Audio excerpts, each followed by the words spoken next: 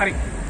මම ප්‍රදීප් පුෂ්පකුමාර පොල්ගස්සෝවිට පාලගමින් මම මේ රට සාමකාමී රටක් කියලා පෙන්වන්න මේ රටේ සංචාරක කර්මාන්තය වෙනුවෙන් යමක් කරන්න මට හිතුණා මේ රට වටේ වටයක් ගිහිල්ලා පාපැතියකින් වටයක් ගිහිල්ලා මේ රට සාමකාමී රටක් කියලා පෙන්වන්න මම ඒක මම ඒක සැබෑවක් බවට පත් කරන්න අප්‍රේල් මාසේ 12 වෙනිදා උදේ 6යි කාලට ගෝල් පේස් වලින් පටන් ගත්තා යන්න ඒක මම එහෙම ගිහිල්ලා පුත්තලම මන්නාරම කලියමන්නාරම යාපනයේ හයිට්ස් කරේනගර් ඊළඟට ආම්පන් කරන්තන් මුලතිව් දක්වා පැමිණෙන මුලතිව් සිට ත්‍රිකුණාමලය මඩකලපුව බුත්තල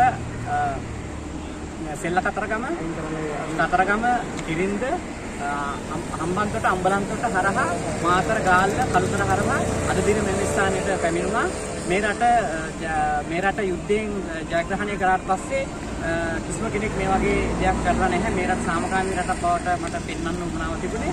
ඒ ඒ වගේම මේ රට සාමකාමී රටක් කිරීමට බුදුන් එවකට ජනාධිපති මහින්ද රාජපක්ෂ ජනාධිපතිතුමා ඇතුළු ත්‍රිවිධ රත්නය ත්‍රිවිධ හමුදාවේ සියලුම සොහොරු සොහොරියන්ද ඒ වගේම පොලිසිය සිවිල් කටයුතු දෙපාර්තමේන්තුව ආදී සියලුම දේට ස්තුතිවන්ත වෙමින් මගේ මෙම චාරිකාව වාර්තා කිරීමට මෙම ස්ථානයට පැමිණි ඔබට මගේ ස්තුතිය පුද කරමින් මගේ මේ වචන ශාස්ත්‍රය ඔබතුමාගේ නමයි නම මොකද? මගේ නම ප්‍රදීප් පුෂ්ප කුමාර මොකද රැකියාව විදිහට කරනවා? මම ඇඟලු විශේෂය අවුරුදු 31ක් රස්සාව කරා.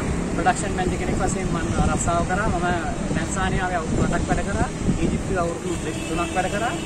දැනටත් මම රස්සාවක් කරනවා ඇඟලු විශේෂයේ. නමුත් මේ ඇඟලු විශේෂයේ බොහෝ දුරට ලංකාවේ දැන් ඇහිරමින් පවතිනවා. ඒ හින්දා මම උත්සාහ කරනවා සංචාරක කර්මාන්තයට යම්කිසි විදිහකට උර දීලා මොනවා හරි පැත්තකින් සංචාරක කර්මාන්තයට සම්බන්ධ වෙන්න.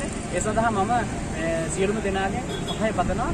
මට යම්කිසි සහායක් ලබා දී මාව මගේ මේ උත්සාහය ධෛර්යය යපවීම ඔප්නම් ගන්න උදව් කරන්න.